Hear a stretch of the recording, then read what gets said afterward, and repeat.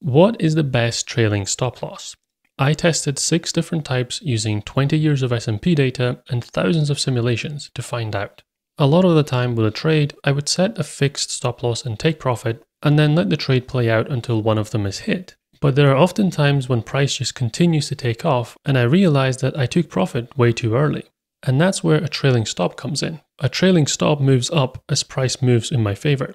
It locks in the gains while still giving the trade some breathing room. But how far away should I place the stop? If it's too tight, then I can get stopped out too early. But if it's too wide, then I can give too much profit back if the trade eventually turns against me. The first stop loss that I'm testing is based on the average true range indicator, the ATR. If I was to open a trade at the end of this candle, then I would look at the ATR value over here, which for the current candle is 221, and that's how far I would place a stop. I've marked my trailing stop loss with this orange horizontal line. As the trade progresses, at the close of each candle, I would then recalculate my new trailing stop position based on the new close and the new ATR value. If that new stop is higher than my existing one, then I move it up accordingly. I continue to repeat this process until eventually the trade turns against me. Importantly, the stop loss can only move forward, it should never move backwards. The second approach I'm going to test is to place the stop loss at swing lows. Every time price makes a swing low, I'm going to move the stop loss up with it until eventually the price comes back down and breaks through it. The third type is similar to the ATR, but it's based on a percentage instead. So it's always a fixed value, and for my test, I'm going to use 2% of the close price. Number four is an EMA. Specifically, I'm using a 50 period EMA, but these are great for following trends. In this example, the trade would be held until somewhere around here, where price eventually breaks down through the EMA line. Number five is the super trend indicator, which similar to the EMA is also great for following trends.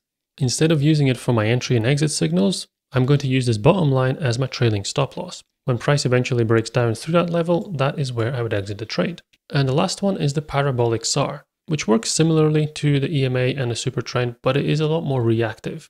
But I will use it in the same way as a trailing stop. Whenever price breaks down through the parabolic SAR level, that is going to be where the trade exits. I'm going to run this test on the S&P 500 over the last 20 years using daily time frame. I'm not using any specific strategy here either. Instead, I'm going to generate around about a thousand random entries for each of these trailing stop types. I will include spread, leverage, and risk 2% on each of these trades.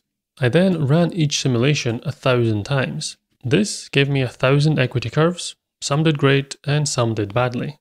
From those, I calculated the average and the median equity curves to give me a single result for the stop loss strategy, which actually did well considering these are completely random entries. It showed that the stop loss strategy was able to follow the general movement of the price reasonably well.